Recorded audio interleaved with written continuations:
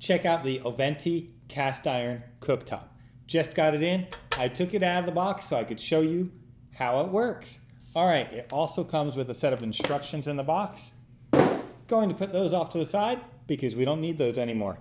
On the front, it has an indicator light and it has a dial to set your temperature with numbers one through five on it. And then it has a standard plug to plug it in, which seems to be about a three foot cord on it. And it has some nice rubber feet on the bottom. Now, I'm going to plug it in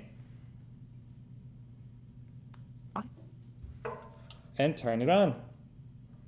Let's set it all the way up to number five and see what happens. After just about a minute of it being plugged in and turned up to number five, I can already feel some heat radiating off of it. So let's see if it can cook an egg. I already got a frying pan here that I put a egg in. It's hard to show you the egg because it's gonna try and slide out. Let's see. But there you go, you see it sliding around in there. So let's put it on here and see if we can cook an egg on this cooktop.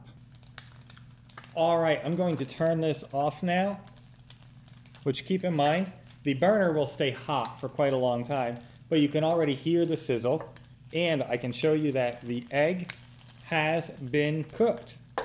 So overall, I am quite happy with this cooktop. I hope this review is helpful for you to decide if this cooktop is the right cooktop for you.